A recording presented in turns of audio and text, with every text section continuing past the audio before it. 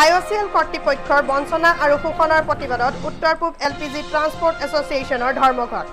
Duliajan L P G প্লাণ্টত আবদ্ধ হৈ আছে কেইবা শতাধিক টেংকাৰ আৰু ট্ৰাক। আই অ' চি কৰ্তৃপক্ষৰ শোষণ আৰু বঞ্চনাৰ প্ৰতিবাদত উত্তৰ পূব এল পি জি ট্ৰান্সপৰ্ট এছ'চিয়েশ্যনে অনিৰ্দিষ্টকাললৈ ধৰ্মঘট কাৰ্যসূচী ৰূপায়ণ কৰিছে।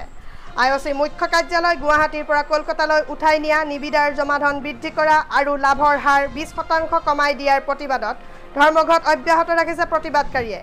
এই ধৰ্মঘটৰ ফলত এল পি জিৰ বটলিং প্লাণ্টৰ কেইবা শতাধিক ট্ৰাক আৰু টেংকাৰ আবদ্ধ হৈ আছে। এই প্ৰতিবাদৰ ফলত ৰাজ্যত ৰন্ধন গেছৰ নাটনি হোৱাৰ পূৰ্ণ সম্ভাৱনা দেখা দিয়াৰ লগতে অনিৰ্দিষ্টকালৰ বাবে এল পি জি চিলিণ্ডাৰৰ পৰিবহণ বন্ধ ৰখাৰ ফলত আই অ' চিয়ে দৈনিক কোটি কোটি টকাৰ লোকচানৰ সন্মুখীন হ'ব লগা হৈছে।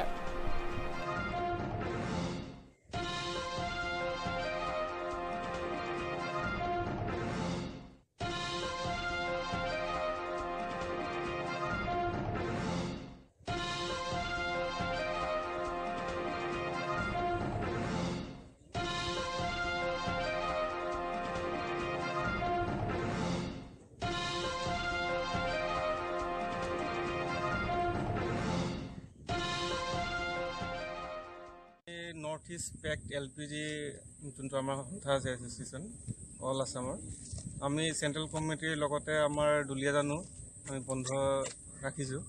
কাৰণ আমাৰ বহুতখিনি দাবী আমাৰ নকৰাৰ বাবে আমি প্ৰতিবাদ কৰিয়ে থাকিম আৰু এইটো অনিৰ্দিষ্টকাললৈকে চলি থাকিব। সেয়ে আমাৰ দুলীয়াজানটো প্লাণ্ট বন্ধ কৰি ৰাখিছোঁ। আমি ট্ৰাক সন্থা আছোঁ লগত জড়িত সেইবাবে আৰু বন্ধ কৰি ৰাখিছোঁ।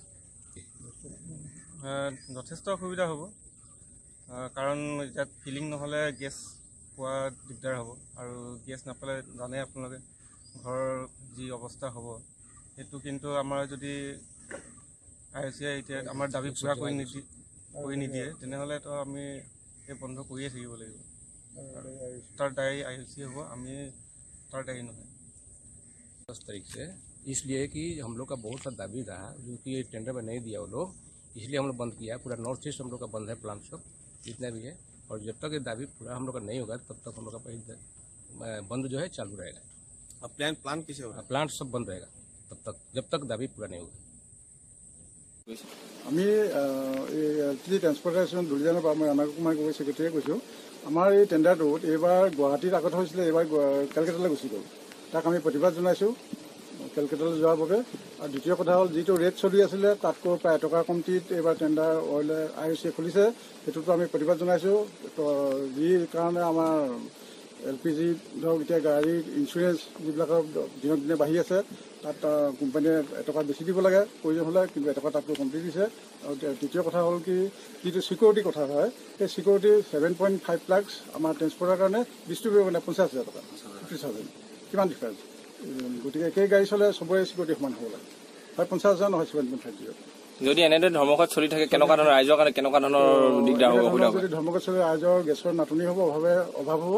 আৰু আজি গুৱাহাটীত গাড়ী নচলিলে নচলে। আৰু দ্বিতীয় কথা হ'ল আজি গুৱাহাটীত এখন মিটিং আছে আমাৰ চেণ্ট্ৰেল কমিটি মিটিঙত আজি যিটো সিদ্ধান্ত হ'ব সেই সিদ্ধান্ত লোৱাৰ পিছত আমি ইয়াৰ পৰা যিটো বটলিং যিটো হয় চিলিণ্ডাৰ অসমৰ কোন কোন জেগালৈ এইবোৰ ডিমাপুৰলৈকে যায়।